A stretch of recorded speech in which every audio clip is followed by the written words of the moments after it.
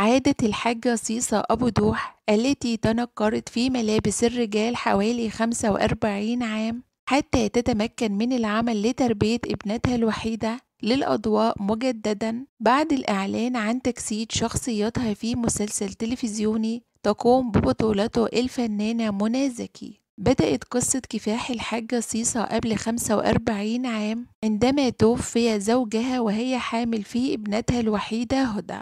ما دفعها للعمل في مسح الأحذية ولأن تقاليد المجتمع الصعيدي وقتها كان بيرفض عمل المرأة لجأت الحاجة صيصة إلى حيلة حيث قصت شعرها وارتدت ملابس الرجال لتتمكن من العمل وتربية ابنتها الوحيدة.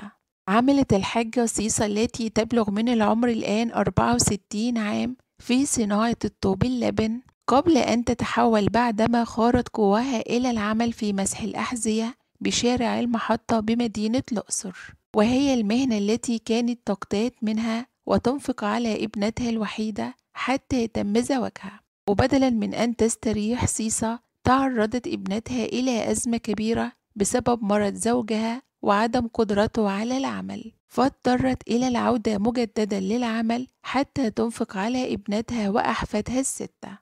وقبل سنوات تناولت وسائل الأعلام قصة كفاح الحاجة صيصة وانتشرت قصتها بشكل واسع حتى جرى تكريمها كنموذج للمرأة المصرية المعيلة وكرمها الرئيس عبد الفتاح السيسي قبل أن تكرمها وزارة التضامن الاجتماعي وتتحول قصتها إلى مسلسل تجسد شخصيتها الفنانة منى زكي.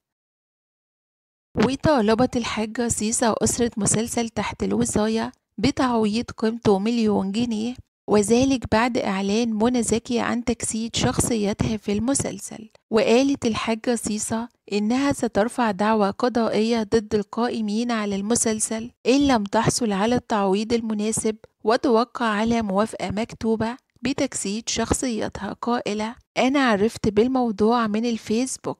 كما طالبت الحاجة سيسا الفنانة منى زكي بزيارتها والإقامة معها عدة أيام لتجسد شخصيتها وهي تعرف كل جوانبها وتفاصيل حياتها. قائلة أنا بحب الفنانة منى زكي جدا وهي زي بنتي وبحب دورها في مسلسل الضوء الشارد.